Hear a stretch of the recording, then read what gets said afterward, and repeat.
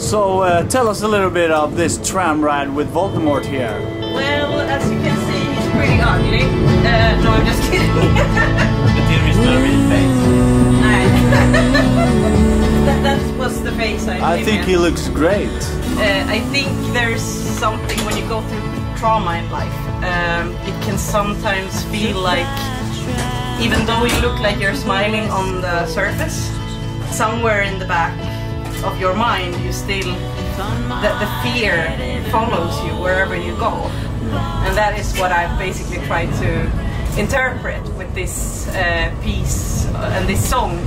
And it's written from improvisation actually, by me just sitting and improvising and putting on a memo, voice memo.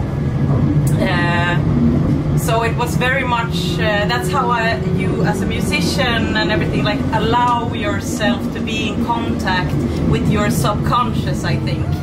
So i think uh, when i wrote it i wasn't conscious about it being like a trauma sort of um, rehabilitation process.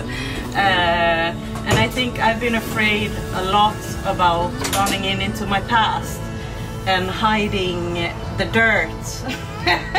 Uh, I've been hiding the dirt for many years from my past, and now it feels like I'm coming out with the dirt. I'm fine with the dirt. How is it to- is. How is it to film on uh, number five in the tram of Gothenburg? Actually, this tram used to say Torp on it. Uh, that's why I made it on the album cover.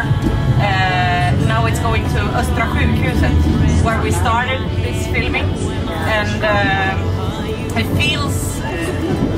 This line is one of the most. Uh, I feel very much at home on, on tram number five. It's like uh, I feel at home on tram number nine or four that goes to Angered because I was brought up there. So it's like something with the environment and everything around you. Can we hear it? Uh, 11th of 11th. So November 11th. Yes.